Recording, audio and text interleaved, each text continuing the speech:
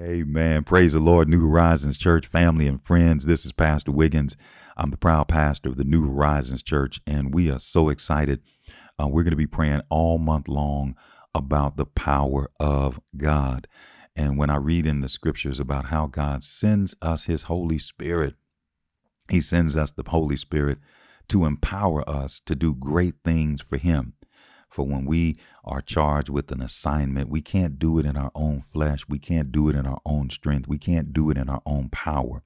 We need God's divine enablement to accomplish what He intends for us to accomplish. So, all month long, we're praying about our relationship to the Holy Spirit and us relying on Him to get things done for God.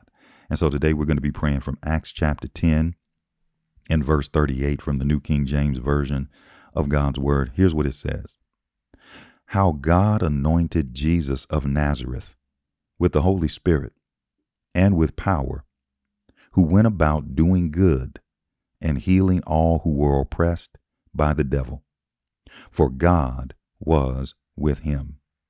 Today we want to ask God for three things. Number one, we want to ask God to anoint us with his Holy Spirit we want to ask God to anoint us with power to do good. And we want to ask God to be with us wherever we go. Come on, let's pray. Lord God in heaven, we love you and we honor you and we bless you and praise you. We magnify you. Lord, we extol you. God, we lift you up and we say you are great and you are greatly to be praised. Lord, we declare that this is the day that you have made. Lord, we want to be found rejoicing and being glad in it. Lord, we thank you for last night's lying down. We thank you that last night was not our last night, but we get another opportunity to get it right today. We thank you that as we woke up this morning, we, we found new mercies for a new day. We thank you for the forgiveness of our sin and the purifying of our all, all of our unrighteousness because of the death, the burial, and the resurrection of our Lord Jesus Christ. Father God, we thank you and bless you for sending Jesus to die on the cross for our sins and being raised from the dead. And we thank you that you raised him by the power of the Holy Spirit. We thank you, Father, for hearing Jesus' request and granting that request and sending us the third person in the Godhead, sending us the Holy Spirit. We thank you, Holy Spirit, for being real in our lives. We thank you for allowing us to relate to you. We thank you for the privilege of relying on you. And we thank you for the powerful resources you provide to us. So, Lord, we just pray for an anointing of the Holy Spirit today. We pray that from the crown of our heads to the soles of our feet, we would be controlled and led and inspired and infused and imbued by the person of the Holy Spirit. Lord, we love you and we honor you. Help us to hear your voice today. Holy Spirit, speak to us in still, small voices. Holy Spirit, illuminate the Word of God in our lives. Holy Spirit, amplify the Word of God in our lives above all of the other noise, above all of the other sounds, above all of the other voices. Make the Word of God prominent and preeminent in our lives today. Holy Spirit, bring back to our remembrance the Word that has been hidden in our hearts, that we might not sin against you. Holy Spirit, let the meditations of our hearts and the words of our mouth be acceptable in your sight.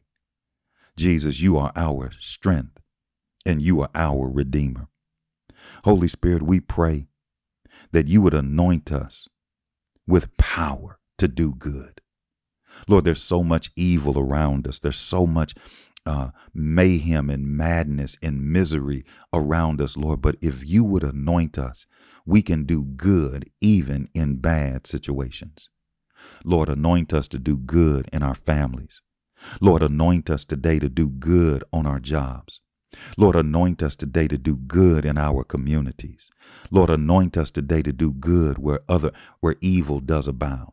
Lord, you said where sin does abound, grace does much more abound. So, Lord, anoint us that we might be able to be your sons and daughters, that we might be able to be the sons of light, that we might be able to be a light in a dark world. God, anoint us to do good even in bad situations. And we pray, oh God, that you would be with us wherever we go. Lord, you were with Jesus wherever he went. And Lord, we thank and praise you that you would be with us wherever we go today. Lord, bless our coming in and bless our going out. Lord, bless us in our homes. Lord, bless us on our jobs. Lord, bless us as we're in the street taking care of business. Bless us in the marketplace. Bless us in our schools. Bless us in hospital rooms. Bless us in educational facilities. God bless us on our in our cars, Lord. Bless us as we walk in our neighborhoods, wherever we go, Lord. Bless us with your presence. Lord, let us feel your presence.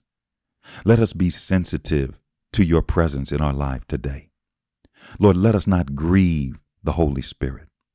Lord, let us not turn our backs on him. Let us not turn a deaf ear to his words. Let the church hear what the Spirit is saying to the church. Lord, we want to experience your presence everywhere we go. Lord, you lead us and guide us. Lord, be our rear guard today.